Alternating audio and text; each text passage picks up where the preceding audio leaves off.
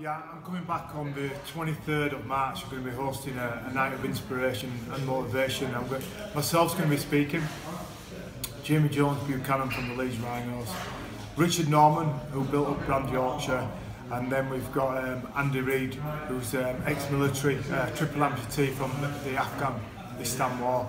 And all four of us are going to be speaking, and it's going to be hosted by Tanya Arnold, who is from uh, Look North and BBC Sport as well. And the aim is um, to give access to people to inspirational speakers, um, to get a snapshot of their story over the course of an evening. So four 20-minute talks, all held together by Tanya, um, with a Q&A as a finale at the end. And the idea is for people to come along, um, listen to the speakers, network a little bit with each other, and they get to do this for only £20.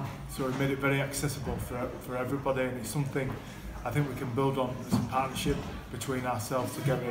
And if we nail this event, it'll be fantastic. So come down, buy a ticket.